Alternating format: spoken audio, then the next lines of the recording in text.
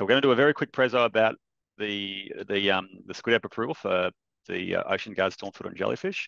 Uh, and then if you have any questions, we're just going to go straight into them as well. So it shouldn't be too long a presentation. In terms of what we're going to talk about, this is basically it. A very quick overview of what SQIDEP actually is, where is it actually applied. Uh, we're going to provide an overview of what the approved devices are. Um, we're going to do an overview of the studies uh, that we have submitted for each of the technologies that were submitted for the SQIDEP review. Uh, we're going to give our perspective of what the SQIDEP experience was like, um, and then what now? Uh, what have we got planned for in the future as well? So first up, what is SQIDEP? Um, long story short, oops, sorry, I'm back, backing ahead. Jumping ahead, sorry, um, SQIDEP, it is an acronym, and in our industry, we love acronyms. Um, but SQIDEP is the Stormwater Quality Improvement Device Evaluation Protocol. Um, it's a, a, protocol developed by Storm Australia uh, to essentially assess the performance claims of various devices. Um, I, I, believe including proprietary and non-proprietary assets, uh, but to date it's just been focusing on proprietary devices. Uh, but yeah, there was an overwhelming need in our industry uh, recognised for a long time that the performance claims of various devices should be appropriately tested and demonstrated and because um, it saves a lot councils a lot of time and energy um, provides a bit more clarity to our industry as well but if you want to know further information in relation to SQIDEP, uh, just jump on that website there. Uh, provides all the information you could ever possibly want to know.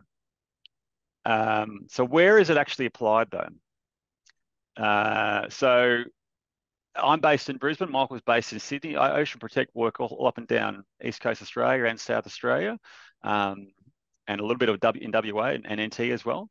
But I think predominantly it's it's mainly southeast Queensland and, and, a few select councils. So Gold Coast City, Ipswich City, and Sunshine Coast Regional Council all require um, for any any proprietary device they must have a SQIDEP uh, verification from Stormwater Australia. Uh, so if you want to do a put in a DA uh, and want to propose a proprietary device, you have to have a SQIDEP verification for that device or devices in Brisbane City Council, uh, that requirement will also be in place uh, by June the 10th.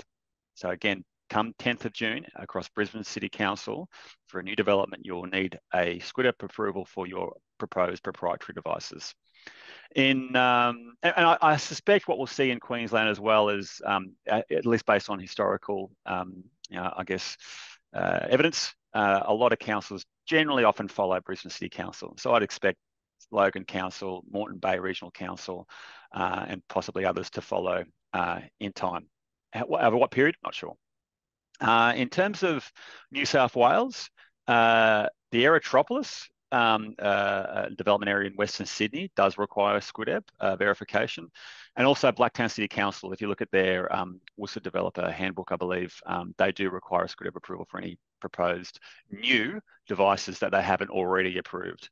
Blacktown City Council also put on some additional requirements as well uh, for any new um, devices to be approved.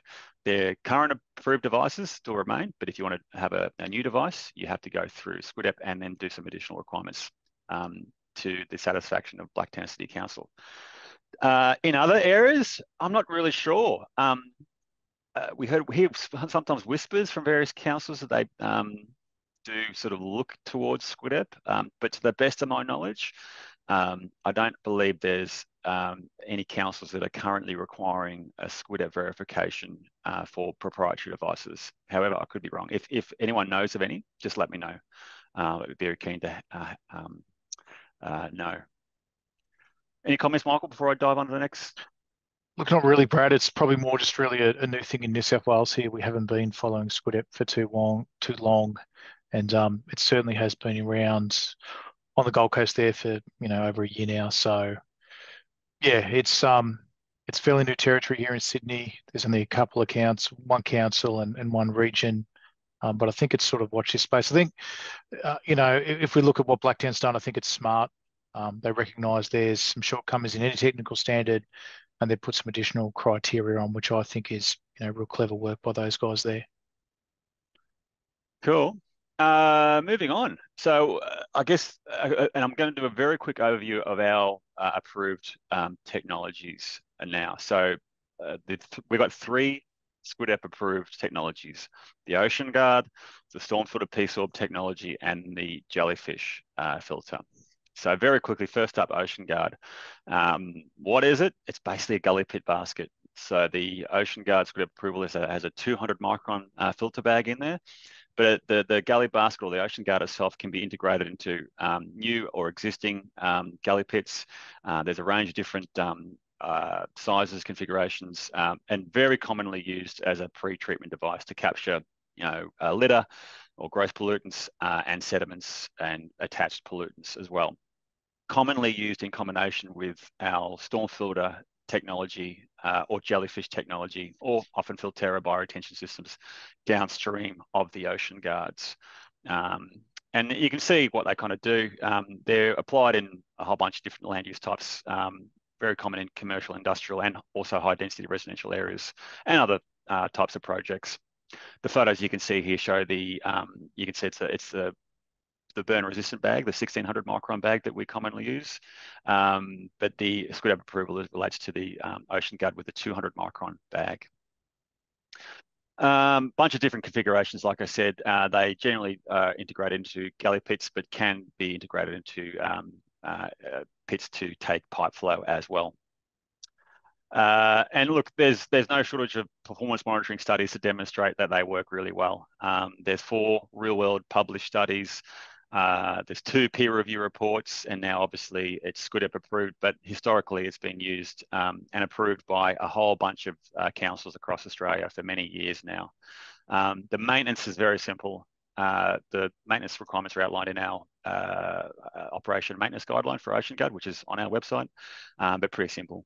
Uh, you can remove the bag manually and, and, and, empty the contents or use a vacuum sucker truck. Occasionally, the bag might get damaged. You know, someone throws a lit cigarette into the bag or something like that, it can burn a hole. Um, but so occasionally they might need to be replaced, but it's pretty simple. Uh, and like I said, we've used, the, uh, there's a lot of these stopping a lot of pollution uh, going into Australian waterways and downstream devices. Uh, at last count, and this is a little bit old, over 28,000 installed across Australia. Uh, very easy to specify. Uh, you can obviously get Ocean Protect to do the modelling, etc. But generally, it's where you've got a gully pit, you can put in a, a um, OceanGuard. Cool.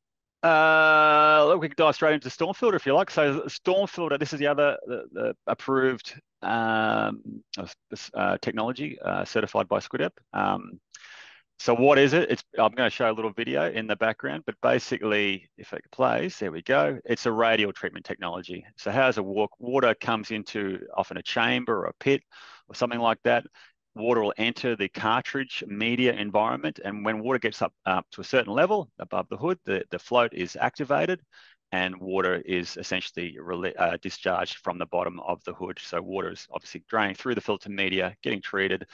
After the water level uh, drops below a certain level, it activates or, or breaks a siphon at the top of the uh, hood uh, which activates uh, what we call uh, scrubbers to uh, agitate the surface of the uh, filter media and basically help clean, help clean and maintain the longevity of the filter media.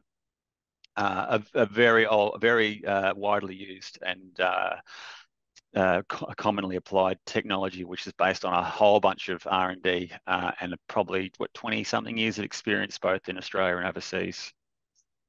Yeah, yeah, and I think look, it's you know this they'd be approaching I think somewhere between or around three hundred thousand cartridges now in the field, as you said for twenty five years. The, technology this in itself and the way it functions is is is quite robust, and it does deliver high performance. So what have we done in this case versus others? We've changed the media blend, like we have done with Stormfilter PFAS. We've we've effectively taken the same vessel and the same cartridge, and we've just change the media to get a higher performance benchmark or target a different pollutant. So that's effectively what we've done. So um, by changing the type of media and also the specific flow rate, we can get a significantly different outcome for a range of pollutants. So still same tried and true technology, but with a spin, with a tweak to enhance its performance. Cool. Um, and like I said, it's very similar to OceanGuard commonly applied for commercial, industrial, uh, and particularly high, resident, high density resident, residential areas as well. Um, a bunch of configurations, three different cartridge op options, um, often integrated with into on-site detention structures, um, a whole bunch of different ways um, to integrate these things, uh, obviously predominantly underground. Um, there's a lot of data to support their use. There's uh, to date four real-world published, uh, publicly available studies on their performance uh, two peer review reports, uh, one longevity study, um, and obviously it's been approved by a bunch of councils for a long time and now SQIDEP approved. All of those studies are available uh, in that uh, review paper, which is available on our website um, under the Stormfilter page. Um, maintenance is very simple. Again, the guideline uh, for the maintenance guideline outlines requirements, but it's pretty simple. It's like a swap and go bottle uh, gas bottle system. Uh, basically, come in there, take away uh, the spent cartridge, and put in a new one, and we take that that used cartridge back to our facility, and we can refurbish it, take the media out, and reuse the cartridge components again on a, on the next job. Um, so very very simple and straightforward.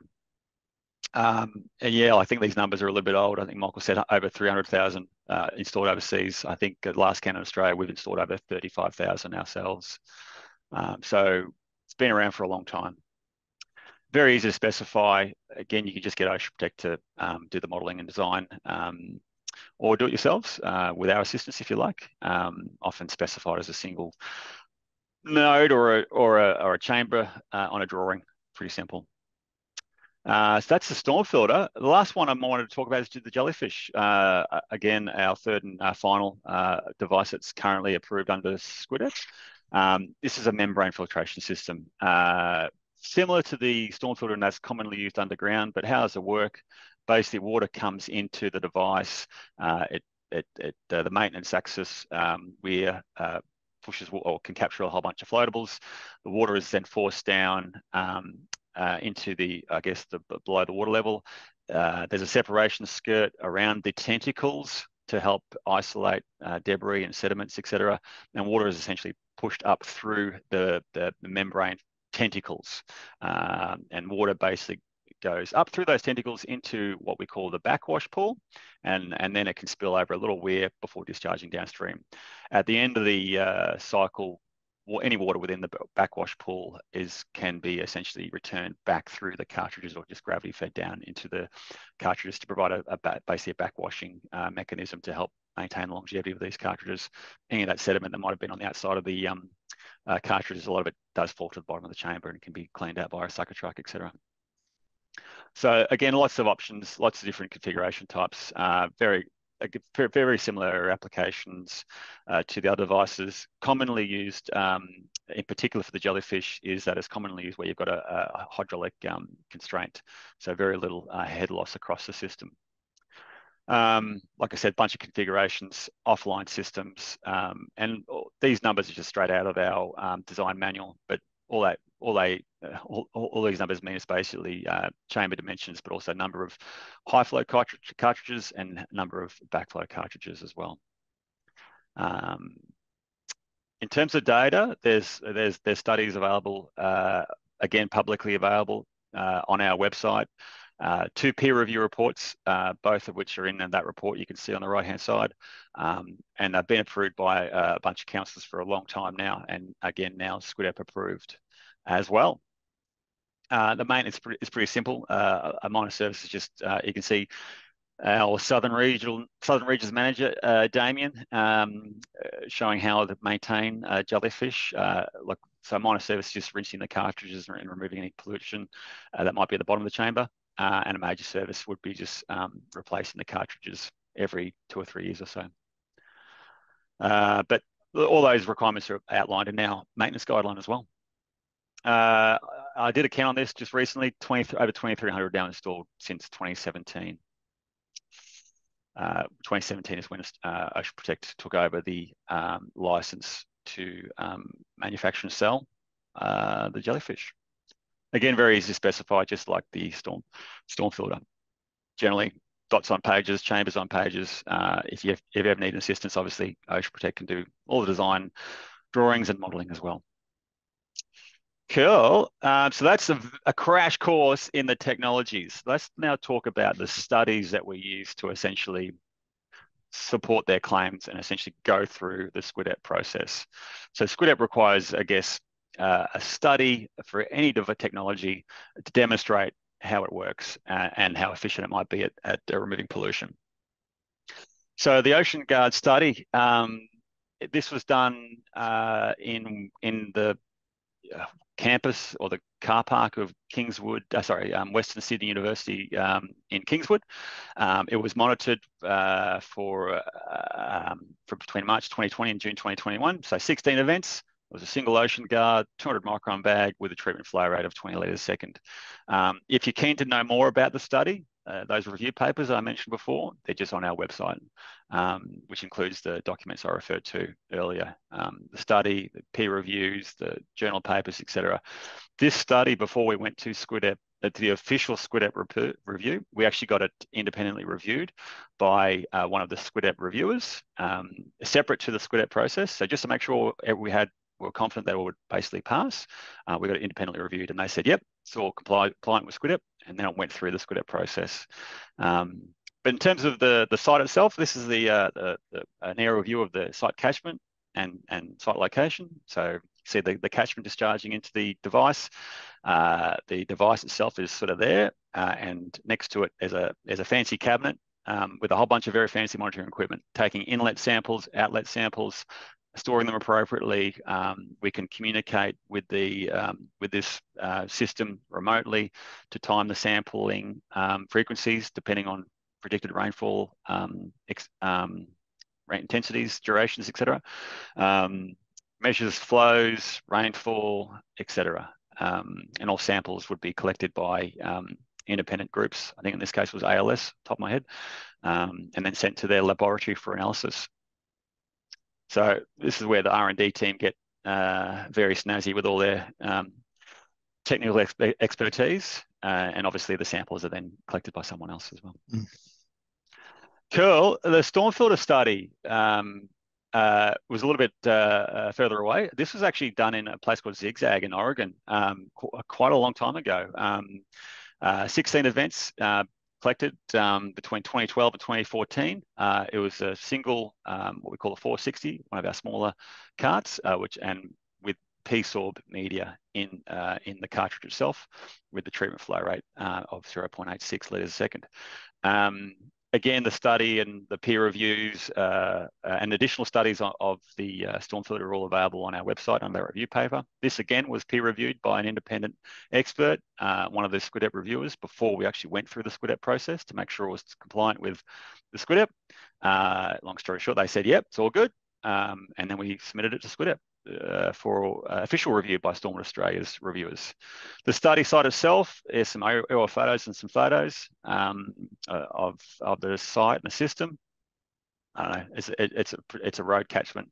Um, yeah, similar setup in terms of monitoring equipment, in terms of rain, rain gauge, measuring flows, taking samples, etc. Um, uh, the jellyfish study um, was uh, in, located in West Ipswich in, in Queensland, monitored uh, again a, a, long time ago. 17 qualifying events. It was you can see that it was jellyfish 1200-2-1, which means two um, uh, high flow cartridges and one drain down. That's the treatment flow rate. Again, the study itself is publicly available. Uh, we've tried to be as transparent as possible, It, completely separate to the SQIDEP um, process. Um, the studies themselves are readily available um, for review if you want to check them out yourselves. But long story short, each of them are obviously the jellyfish, storm filter, and ocean are all three um, real world uh, studies looking at a range of storm events um, and assessing the performance of the device in the real world. But again, the review papers are there if you wanted to check them out yourself. Um, these are some um, images from the report itself, um, showing the study site and the, I guess, the, the monitoring system layout. Again, monitoring or taking samples of inlet and outlet, uh, measuring flow, measuring rainfall, um, etc. And obviously samples are collected and then sent off to a lab for analysis. Um, cool. Sorry, Michael, I've, I've charged through that. Any any comments or? Look, probably the only thing is that the the the sampling at Ipswich is different to some of the methods that we would have employed in the in the aforementioned ones for for Stormfilter and Ocean Guard. Um, obviously, Ocean Ocean Guard was set up by by Ocean Protect. Um, the Stormfilter was set up by by Contech, and and that study itself has been basically the cornerstone of their approval at Washington State Department of Ecology for enhanced phosphorus removal. So it's quite a comprehensive study, again, done by Contech, which we use similar methods to them. And Ipswich has different methods again, which wasn't set up by us, but but a third, another organisation. So there is some slight nuances between, but essentially all three comply with the SQIDEP protocol. Sure. Um, the SQIDEP experience. Um, just to give you some perspective of what we've gone through, I guess, over the last couple of years. So, first up, you got to pay money, and then you submit your, uh, uh, uh, sorry, pay money with your form. The, the initial form is basically just saying this is the name of the technology, this is the claims. We're keen to get it reviewed, um, and then there's a whole bunch of information that we provide to demonstrate compliance um, with the SQIDEP criteria.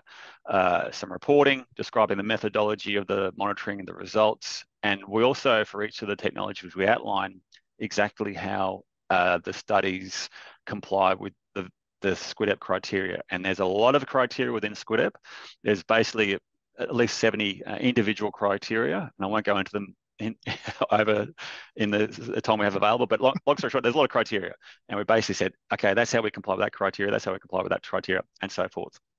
And there's a whole bunch of supporting information, what we call individual storm reports. Uh, you can see kind of, I guess, a, a screenshot of screenshot of one, uh, like that's a, a hydrograph uh, showing flow being recorded, rainfall being recorded, and then you can see the influent and effluent sample uh, intervals as well.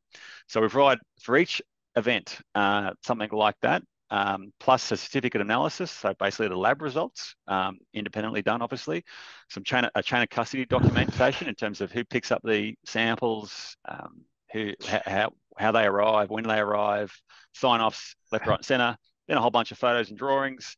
Uh, we outline how uh, the, the, maintenance requirements, basically from the maintenance reports themselves, um, and then there's obviously uh, there's sampling and monitoring equipment. Uh, we need to demonstrate with reports again, uh, how they've been calibrated and maintained. Then there's statutory declarations um, around, uh, you know, what's our role, what's our conflicts of interest, etc. Um, and with all, with that information, we also provided additional studies to support um, uh, the uh, the, the uh, main study, I guess, including the peer review reports, uh, such as the ones I mentioned before. So, long story short, a lot of a lot of information. Um, Absolutely, and if you look at just if you think about just one storm result, just just one result from one storm probably equals about 20 pages of of paperwork that's attached to it in, you know, the chain of custody sampling, in the analysis, um, in in the hydrograph, in the data, in text file or PDF from from um, you know from the sampler. So there's a whole heap of information that goes into each individual storm, and you know, reporting on this in SQIDEP just in a nice tabulated format is the easy bit. It's the 200 pages that sit behind it that really gives the reviewers the understanding of, of you know, how robust the results really are and can they comply with the standard itself. Mm. There's a phenomenal amount of work that goes into each study and the reporting side.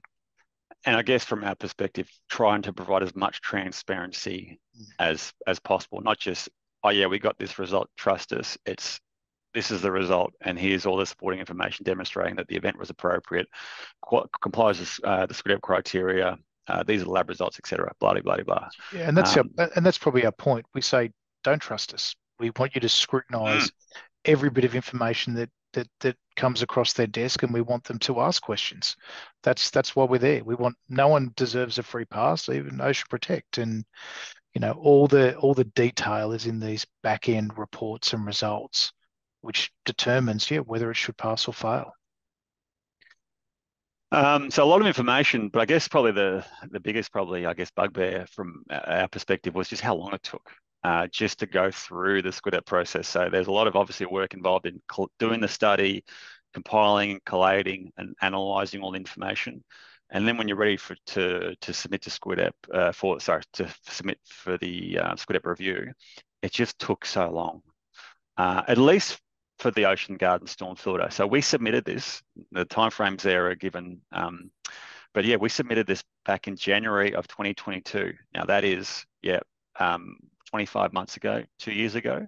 Um, it took what's that about nine months uh, before we even met for the first time with the reviewers to basically as a kick-off meeting to give some background context, etc. Um, now, it then took several months before we got any sort of draft joint report. Um, uh, so there was a whole bunch of things in that draft, those draft reports, and and they're I think they're publicly available um, on the Storm Australia website, and I'll show that in a sec. But um, we provided some responses to those reports, um, but there was clear from our perspective there was a lot of points of um, disagreement um, between what the reviewers, the, the first reviewers were saying, and what we uh, were, were saying. Um, so because of that sort of disagreement, uh, it was decided collectively to go to a, a separate independent third party uh, review, which is basically part of the Stormwater Australia process. And that review was initiated by, um, uh, sorry, in September. Um, and the third party reviewer was a guy called um, Dr. Baden Myers from University of South Australia. And uh, long story short, that review was completed a few months later. And subsequently, the SQIDEP verification was issued for um, both the storm filter and ocean guard. So, long story short, it took nearly two years between submission and uh, the verification uh, being issued, um, which is obviously a long time. Um, the the jellyfish, thankfully, was was less time consuming. Um, we submitted that in June 2022. It did take a long time before the review started, um, but at least when it after it started, I think it's fair to say that the the reviewers uh, moved fairly quickly. Um, and uh, long story short, the SQIDEP verification was for the jellyfish was issued um, uh, shortly after, which was great. Um, it's a very thorough process. We still just because it was quick doesn't mean it was wasn't very detailed. And I think Mark and Mark it was Mark Liebman and Baden Myers were the reviewers there, and they did a very good good job to go through everything that. Um, uh, it, like I said, like a lot of information, um, but came to a conclusion uh, like I said, in November last year. So come come the end of last year, we had um, yeah three uh, approved SQIDEP, uh, approved technologies.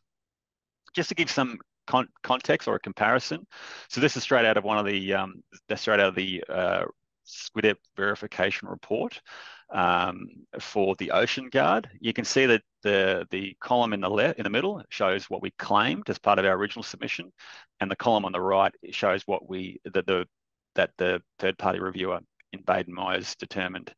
So the TSS, TP, and gross pollutant claims were were essentially verified.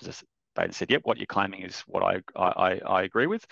The TN removal claim um, was downgraded, um, and that was because of just the removal of one event. Um, the event was uh, an event that actually complied with all the SQIDEP criteria, but it was considered an outlier uh, from Baden's perspective because the TN removal was was was high. Um, so Baden thought it was appropriate to remove the TN um, results from that event. Um, now, we personally, I personally didn't think that was appropriate, recognizing that we, that the event completely complied with SQIDEP. But and also, whilst that event was um, had a high TN removal, we also had to include. We also included events that had TN concentrations decreasing across the device. So the effluent sample showed a higher TN concentration than the influent sample, which is potentially physically impossible. But regardless of that sort of not being, um, regardless of, I guess, doubts as to the validity of the TN results for those events, we included those events. So long story short, we whilst we included events that were certainly not good from a, a, a performance claim, um, the one res- one event was removed in terms of their TN results, which meant that the TN uh, approve uh, uh, TN removal went from the 41% claim uh, to 25%.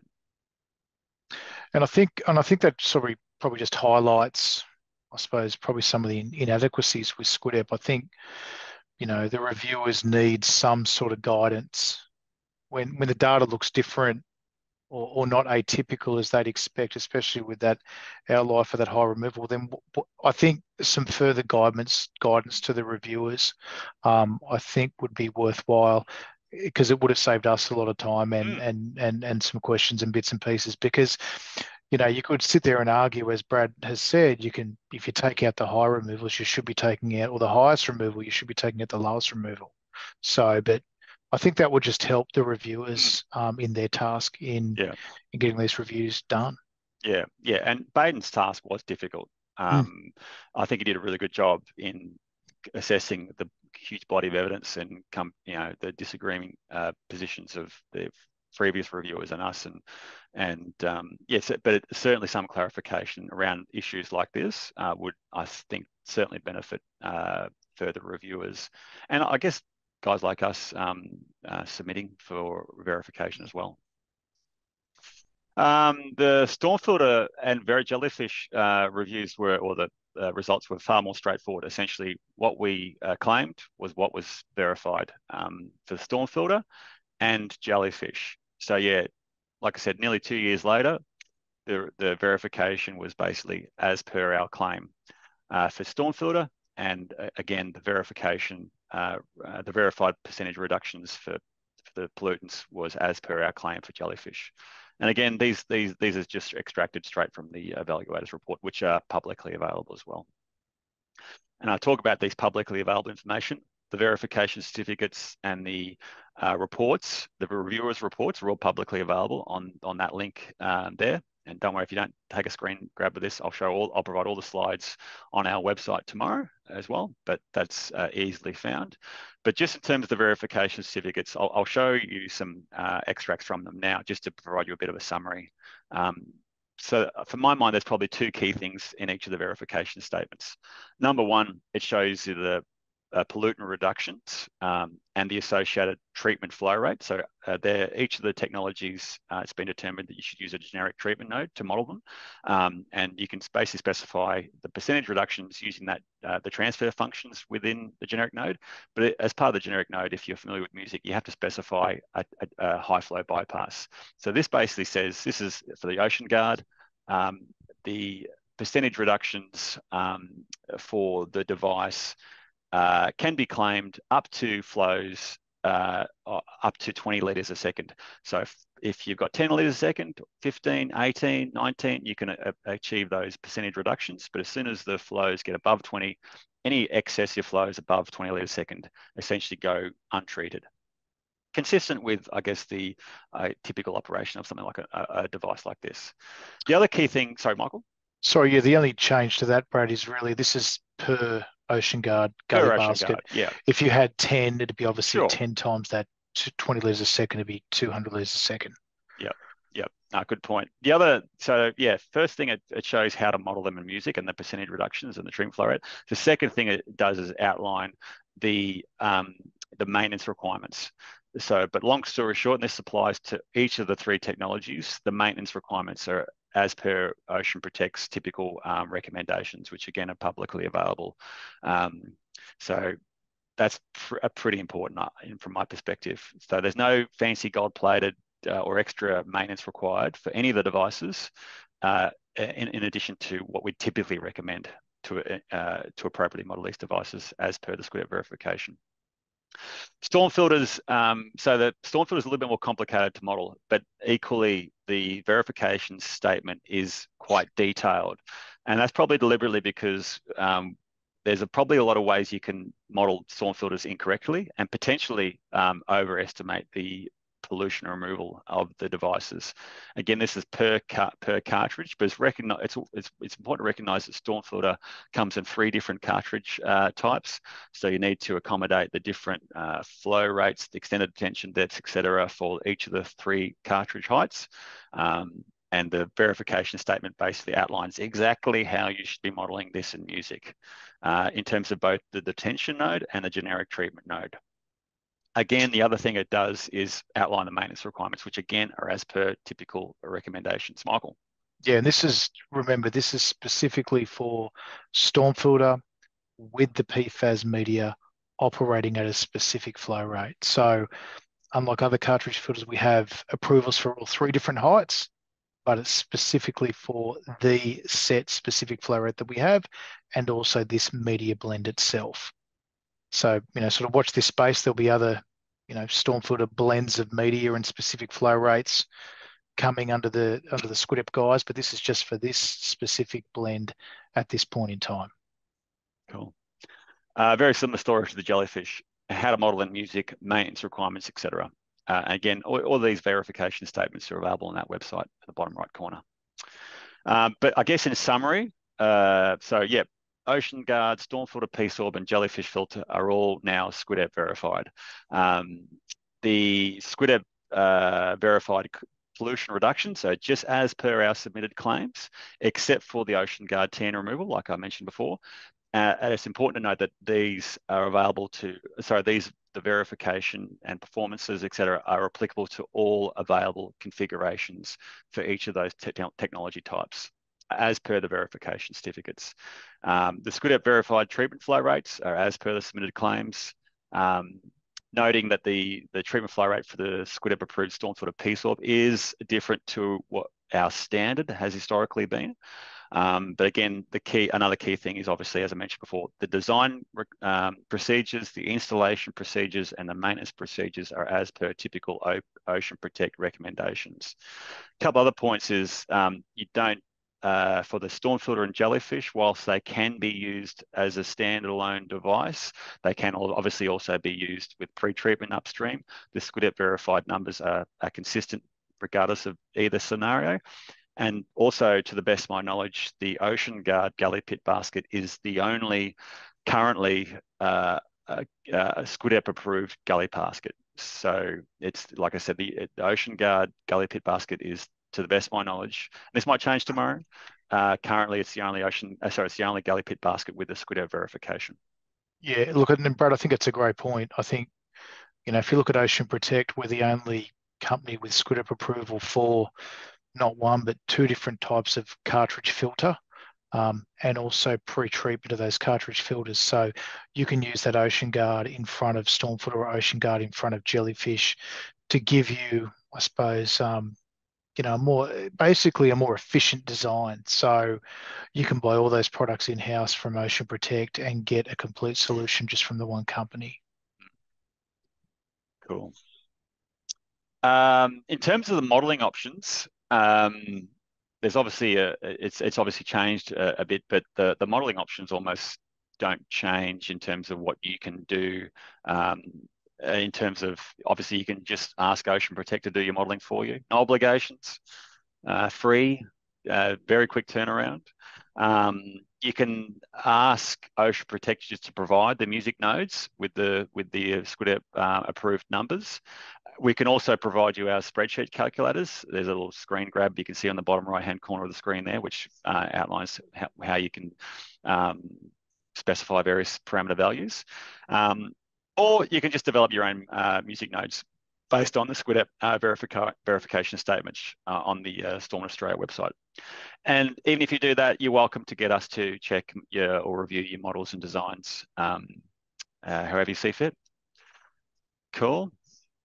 Um, so what now? Uh, in terms of, uh, I guess, from your perspectives as the listener attendee, um, Ocean Guard, long story short, long story, uh, Ocean Guard's jellyfish and StormFilter Peace Orb can now be specified where SQIDEP verification is required, including areas like the Gold Coast, Ipswich, uh, Sunny Coast, Aerotropolis, etc. Um, so the other thing to keep in mind is also the fact that uh, we have already submitted two other devices for SQIDEP review. One being the Filterra bioretention systems, and there's a photo of one you can see um, on the bottom there. Uh, and we've also submitted another device for SQIDEP review. And uh, I believe those reviews are just about to start, which is awesome. Uh, and look, separate to all this, uh, the R&D team uh, with Michael, uh, Warren Jones, Blake Ellingham, and Jim Lenhart aka the godfather of stormwater. Uh, they will continue uh, doing a whole bunch of R&D um, uh, behind the scenes. Um, so uh, stay tuned for that. Cool. That's all uh, I had to cover today. If you've got any questions you'd like to ask Michael or myself, uh, now is your golden opportunity to do so. if you have any questions, please put them in the Q&A. Uh, but if there's none, we can uh, bid each other adieu and um, enjoy the rest of our days. So generally this time I'm normally bombarded with uh, questions. Uh, uh, I see a couple of hands raised. Uh, uh, Lee, if you want to put your question in the Q and A, that'd be great.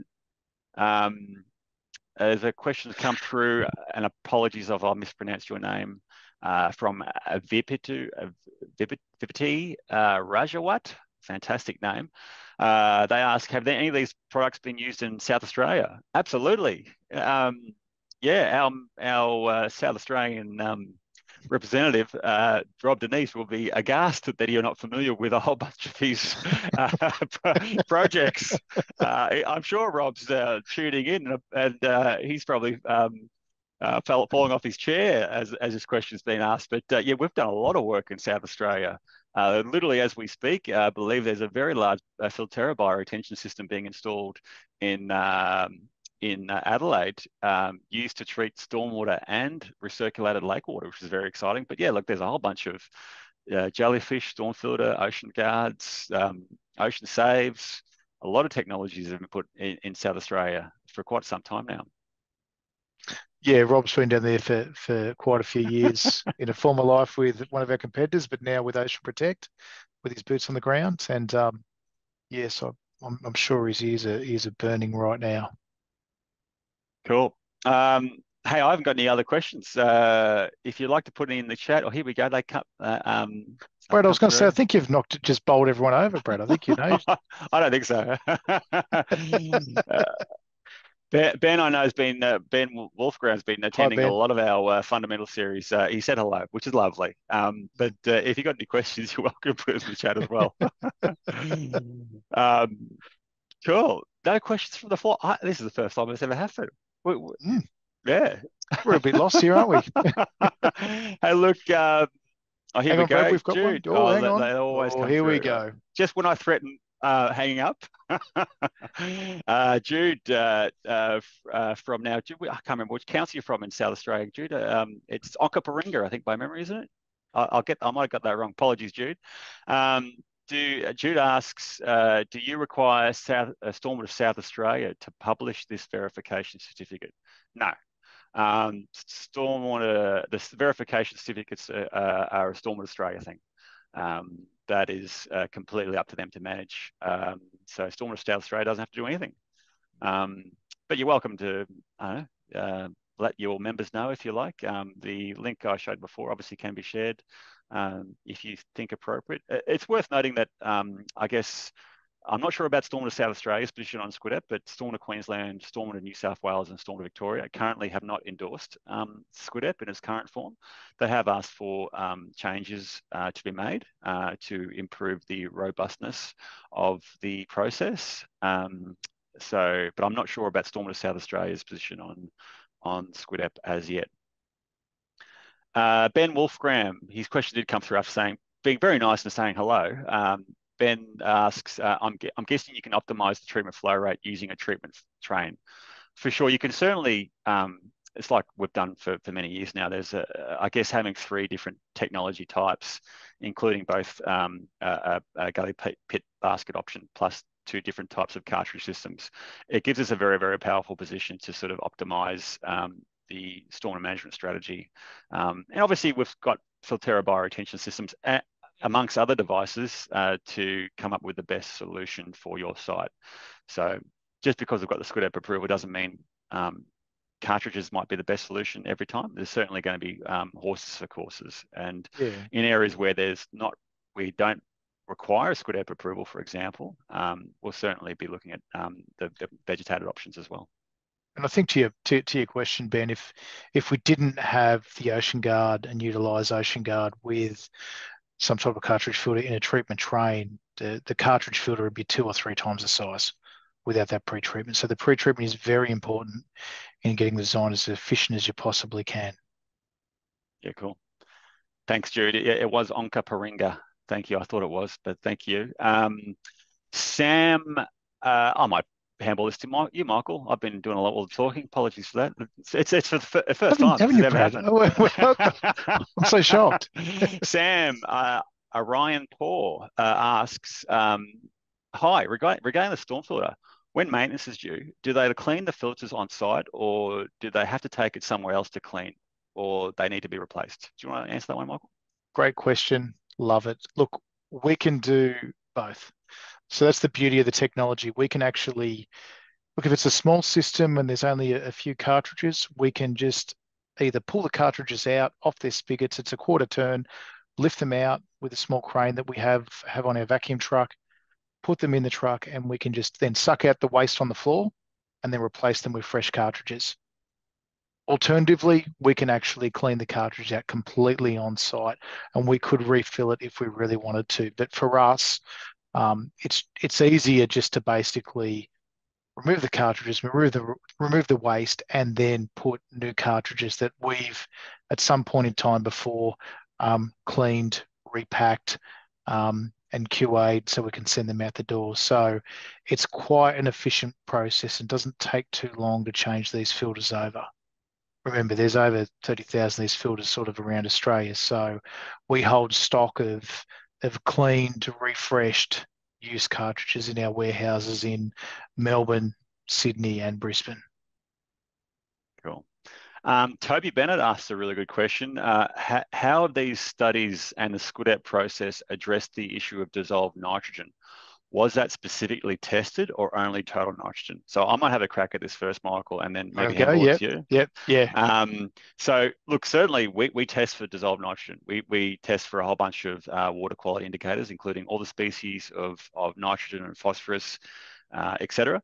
Um, but currently, SQIDEP, um, whilst we recognise that dissolved um, uh, nitrogen certainly exists in stormwater and is, is, is present at significant um, proportions, this current SQIDEP uh, does not have a minimum limit for dissolved inorganic nitrogen.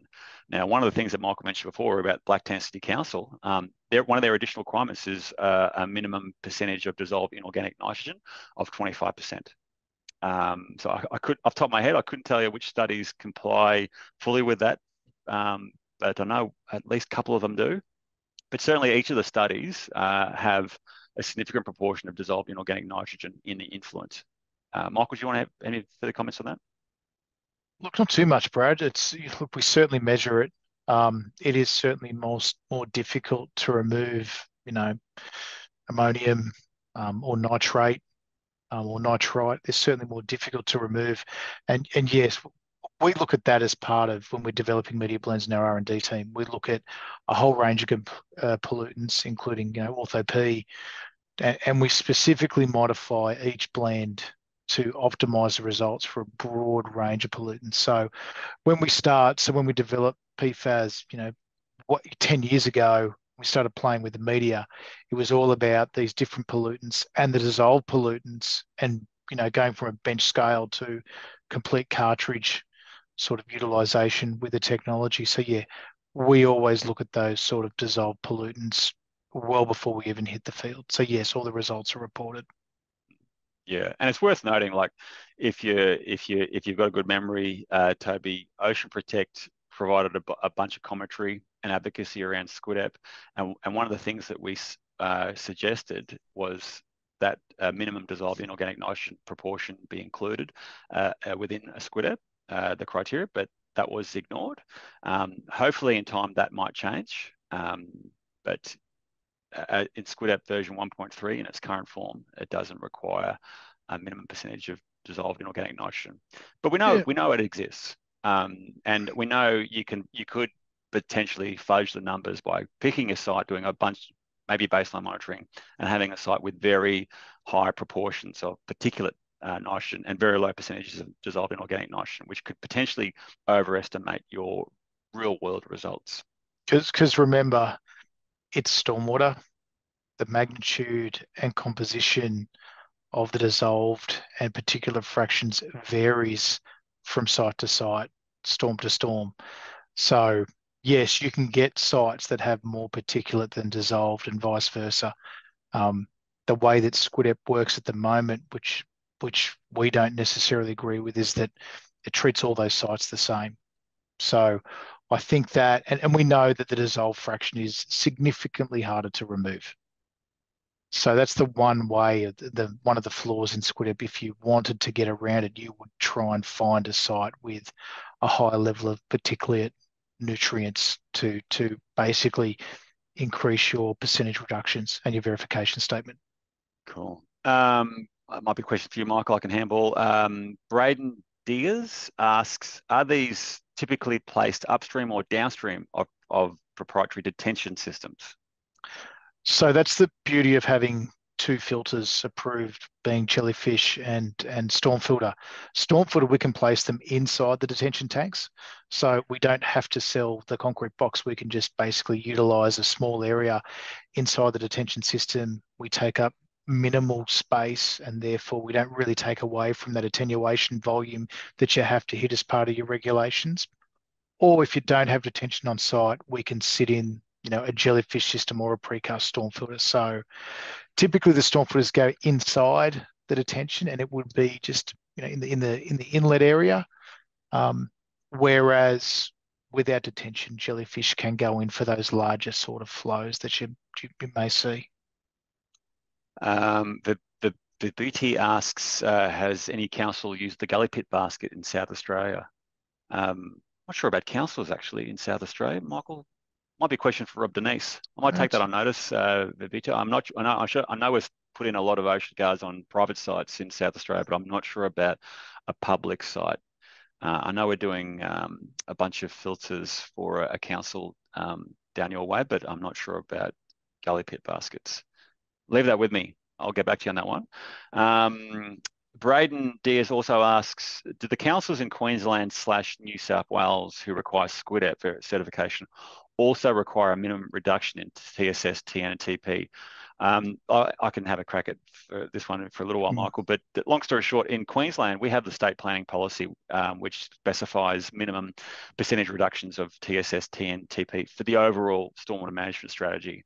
Um, not individual devices, um, but the overall strategy. So collectively, uh, you, you can obviously use a single device or a, or a treatment train or combination of devices, um, but you, you have to achieve those uh, pollutant load reduction targets for the entire site, not specifically for an individual asset.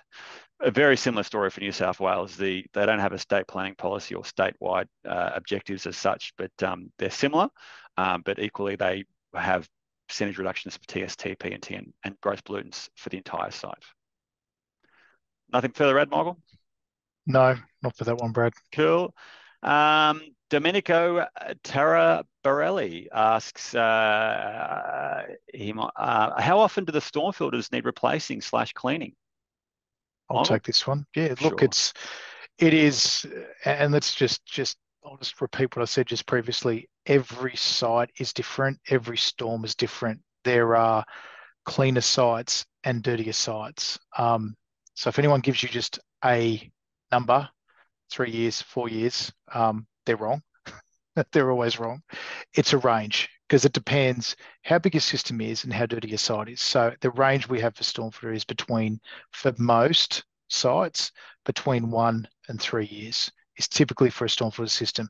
We do have some sites that have been six months, and we do have some sites that have gone out to four years. But typically, one to three years on these types of systems for, you know, a, a residential, commercial, or industrial site, typically. But that's one of the reasons why you want to check the mass load, to check the maintenance frequency, um, to basically ensure you know you, you estimate your frequency for that site and you can appropriately apply the, the, the maintenance costs and regime for that. Cool. Uh, final chance for questions. Um, just on the on you mentioned that replacement frequency. Um, we've also done. Sorry, we uh, we commissioned an independent uh, longevity study of the storm filter um, to uh, see how long these devices are lasting in the real world.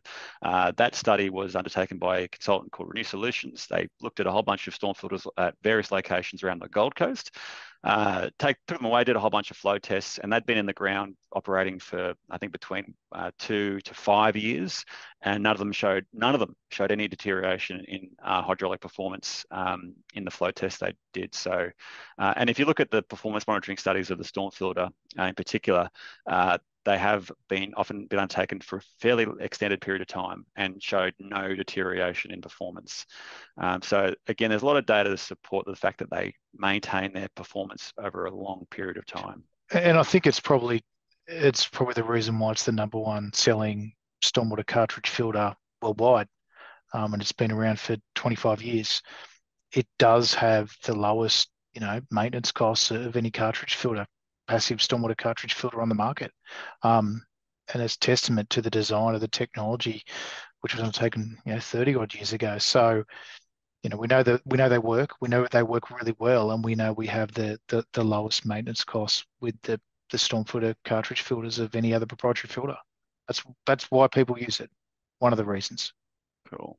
We might cut it there. We've gone a little bit over time, Michael, but thank Ooh. you everyone for all the questions and thank you very much for everyone who's dialed in today. Obviously, we've done a very quick uh, overview, but if you've got any further questions in relation to anything we've talked about today, OceanGuards, storm filters, jellyfishes, or whatever you want to talk about, please feel free to reach out to Michael and myself, um, and we'd be more than happy to um, talk further about anything you like.